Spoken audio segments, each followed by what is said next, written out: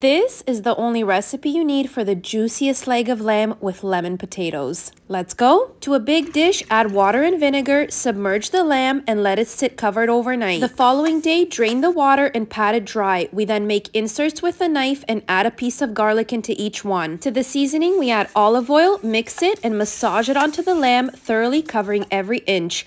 Add onions, unpeeled garlic to the baking dish, rosemary, water, and wine. We then cover it with parchment paper, followed by foil, and bake in the oven. An hour and a half before the lamb is ready, you get the potatoes ready, add them to the baking dish, and make sure you baste the lamb. Cook for the remainder of the time until it's falling off the bone. Enjoy and follow for more.